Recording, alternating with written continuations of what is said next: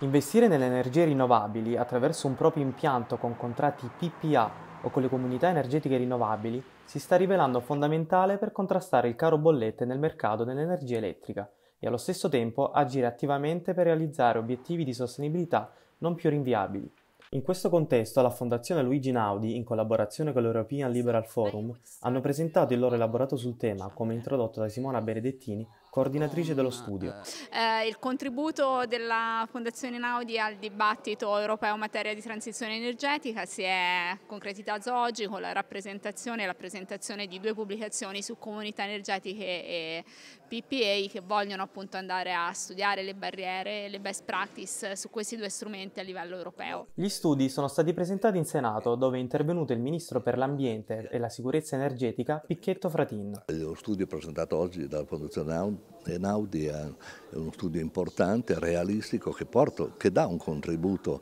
a quello che è un percorso che noi abbiamo iniziato, che stiamo perseguendo con, con determinazione e con realismo che deve vederci intervenire sulla decarbonizzazione con l'obiettivo di neutralità al 2050, con il primo step al 2030 di abbattimento del 55%, ma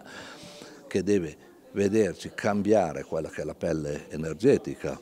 eh, del Paese facendolo diventare anche un brand del nostro Paese. Diversi vantaggi dell'introduzione delle PPA sia in ambito economico, come l'abbattimento dei costi di produzione, sia in ambito ambientale, con la riduzione delle emissioni di gas serra. Secondo gli studi, l'introduzione delle PPA nel quadro normativo italiano sarebbe favorevole da più punti di vista e ne beneficerebbe anche il mercato dell'elettricità. In totale, la produzione di elettricità in Italia da fonti rinnovabili ha rappresentato circa il 27% della produzione totale di elettricità. Nonostante la normativa includa una delle migliori pratiche tra quelle proposte dalla Commissione europea, c'è ancora scetticismo sull'argomento. Il futuro energetico dell'Italia, diciamo, mi pare che bene o male siamo riusciti a mettere le cose eh, sui binari giusti per garantire la sicurezza energetica e garantire anche un certo sviluppo delle rinnovabili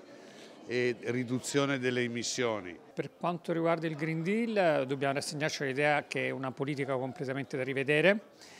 eh, non, non sta funzionando.